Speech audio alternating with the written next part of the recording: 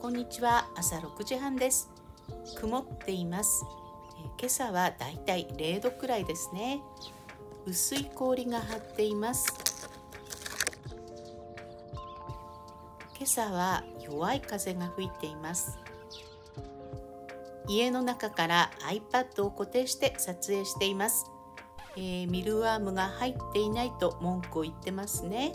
早くご飯が欲しいようです。円台の上のミルアームを取っていきました。これはどうでしょう？スローで見てみると、えー、つついただけのようですね。今度はどうでしょう？スローで見てください。加えていきましたね、えー、今日は調子がいいようです。どんどんきますね、えー、スローで見ると持っていったようですね。今朝はすんなり来てくれました。なんとなく友達になれた気がします。おばさんが家に入ったから落ち着いて食べられると言っているみたいですね、えー、お残ししないできれいに食べるみたいです。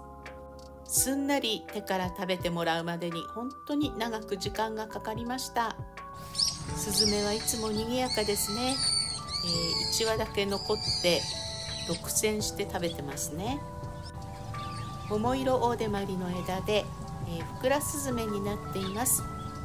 ここから餌台に飛んでくんですね。毎日見ているスズメですが絵に描いてみろと言われたら描けないような気がしますね。塗り絵も難しそうです。金木犀の餌台にシジュウカラとスズメがいました。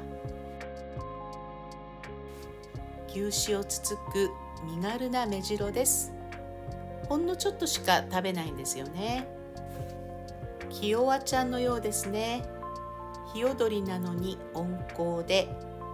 シジュウカラも安心してひまわりを食べています。泣きながら白鳥が飛んできました。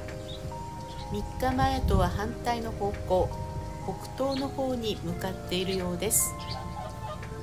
よく見ると1羽だけ小さい鳥がいるの見えたでしょうか、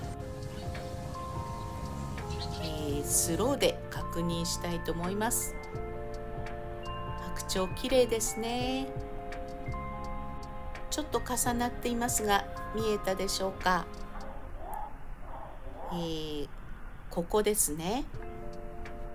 この鳥は白眼だそうです。またチッチが来てくれました、えー、止まってる時間は本当に短いんですがどんどん来ますね。失敗しました、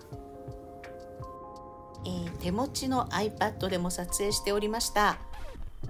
なんとなくちょっと違いますよね。羽の音も聞こえるかと思います。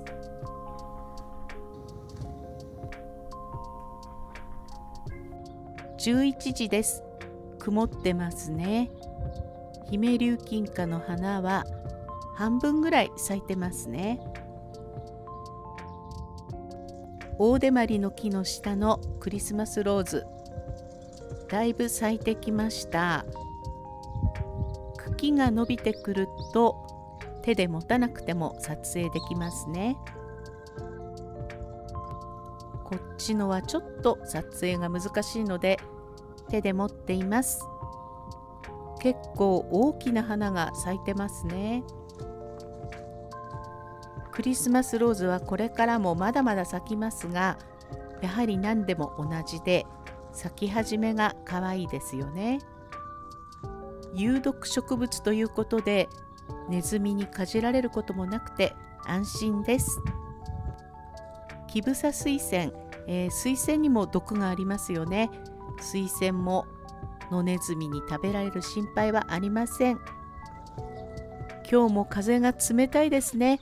昨日ほどの強風ではありません。丸尾です。おててをペロペロしてたんですがなんとなくおじいちゃん身が強いなと思っているとすくっと背筋を伸ばしました。今日はこの辺でバイバイにゃん